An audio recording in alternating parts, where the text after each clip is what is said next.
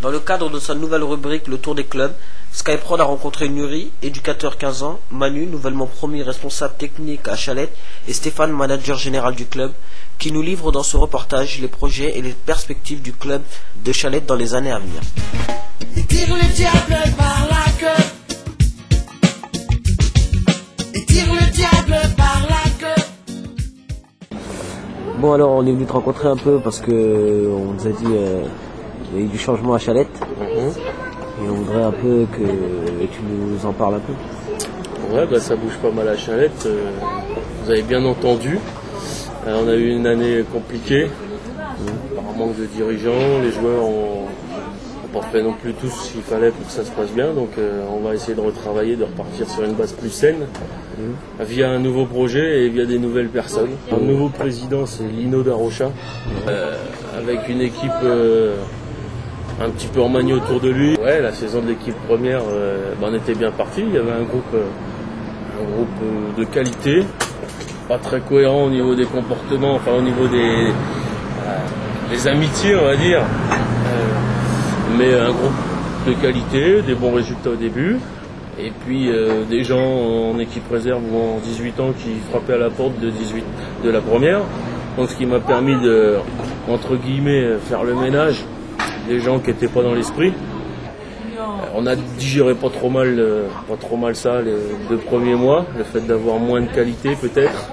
Et puis finalement après décembre, euh, ah bah, les joueurs, euh, sachant qu'ils avaient leur place, sachant qu'ils pouvaient jouer tranquillement sans trop se fatiguer, eh bah, vous-même vous savez, hein, quand on s'entraîne pas ou quand on a, moins envie, bah, les résultats s'en ressentent. hein. les, équipes, les autres équipes ils avançaient, puis nous on stagnait, voire on baissait. Donc ça s'est traduit au score. hein. J'ai souffert aussi d'isolement, ça c'est clair. Euh, tout seul euh, dans la, dans la bataille, euh, avec des joueurs qui vous insultent, des joueurs qui vous mettent des bâtons dans les roues, euh, pas de repères au niveau de présidence, pas de joueurs qui sont avec vous. Donc bah, j'ai mené le combat seul.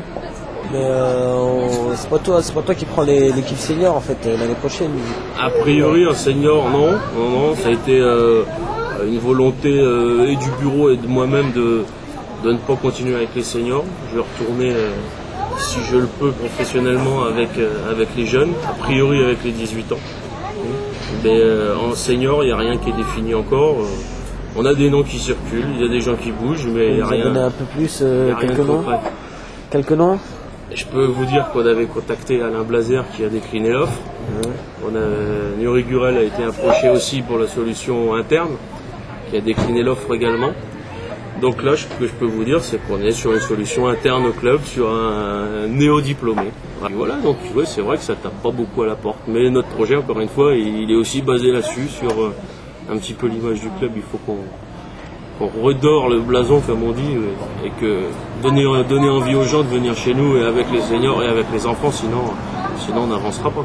Dans les grandes lignes, on aimerait que sur Chalette, on puisse avoir euh, deux côtés, deux pôles euh, distincts, et dans un tout, à savoir un côté où on ferait de la compétition, de l'élite, entre guillemets, et de l'autre côté, on pourrait aussi, euh, on pourrait aussi faire du football de masse.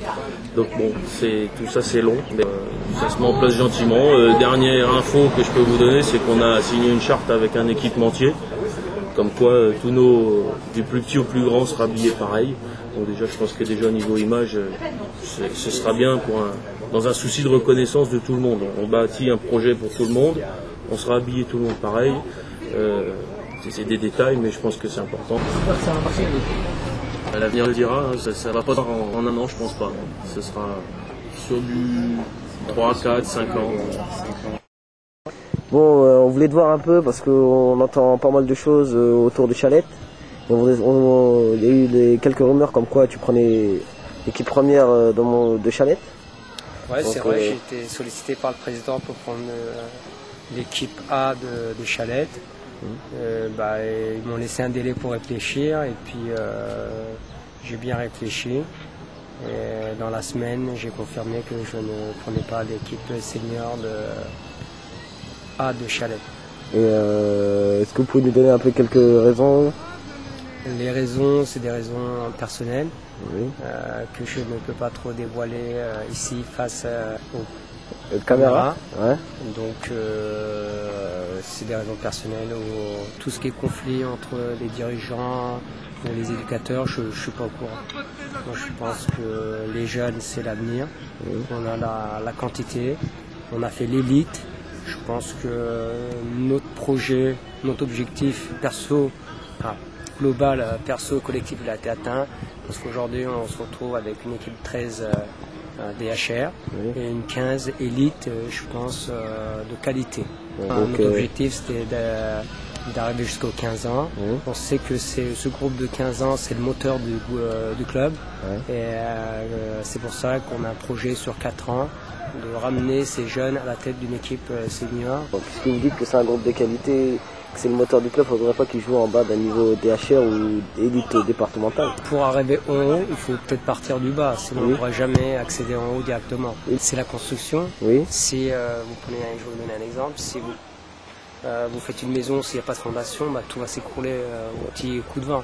Ouais. Donc c'est où ils partent, bah, qu'on dise que c'est jeune, ça joue au foot, c'est l'essentiel. Pour moi, c'est euh, le AB du foot, c'est la, la formation, la préformation, et que quand ils deviennent des adultes, bah, qu'à travers le foot, ces gamins, bah, ils ont, ils ont compris l'essentiel de la vie. La préformation, c'est pas sur un an, euh, c'est pas sur deux ans, il faut, on est parti sur quatre ans, et là on est sur la quatrième année, la saison 2006-2007. Mais puis, vous dites que vous avez réfléchi, donc euh, c'est que vous avez été tenté, non? Euh, oui, oui, j'ai été tenté, bien sûr. C'est un honneur pour moi d'être sollicité pour euh, s'occuper d'une équipe euh, senior. Et, bon, après réflexion, pour des raisons personnelles, j'évoque encore une fois que je, je préfère rester avec le groupe de jeunes. Quelques rumeurs comme quoi c'est Manu qui va être entraîneur des, Bah, des seniors. Donc, euh, Je- à votre avis, euh, je suis très content d'entendre, Oui. sachant que c'est un garçon qui a un brevet d'État, qui vient de, je pense, de l'avoir ou qui est en cours. oui.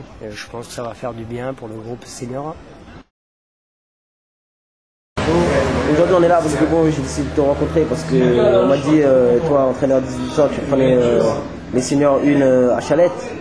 Donc, on voudrait savoir ce qu'il en est un peu parce que tu, Ouais, donc, de faire une bonne équipe, non ouais, normalement, bon, c'est pas encore euh, vraiment officiel. Bon, j'ai rencontré le président là, ouais, qui souhaite que je m'occupe du groupe première.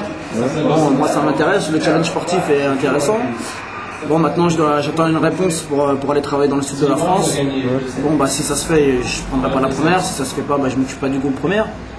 Bon, bah, on a plusieurs objectifs hein, au sein du club. Bah, D'une part, euh, faire le ménage, enlever certaines personnes qui ont posé des soucis, et puis essayer de créer un bon groupe pour euh, monter le plus rapidement possible et donner du plaisir avec une bande de potes et, Euh, Là, vous avez- la première, elle est descendue à deuxième ville. Donc, euh, comment, tu vas, comment tu vas faire pour euh, remobiliser tout le monde? Ok, donc voilà, ça c'est euh, vrai que c'est embêtant pour tout le monde, hein, pour moi, pour le club, pour les joueurs. Bon, c'est de descendre en deuxième division. Maintenant, bon bah, on va essayer de remobiliser tout le monde. Bon bah, ceux qui sont descendus, j'espère qu'ils vont avoir un peu de fierté, un peu d'amour propre pour euh, se remobiliser et justement essayer de bah, de relever le challenge là, de, de remonter. Il y a un bon groupe de jeunes là. J'ai 8-10 euh, jeunes sur qui je peux je compte m'appuyer et j'ai- j'aimerais faire venir 4-5 autres euh, personnes avec un peu plus d'expérience pour pour apporter de la maturité à ce bon groupe.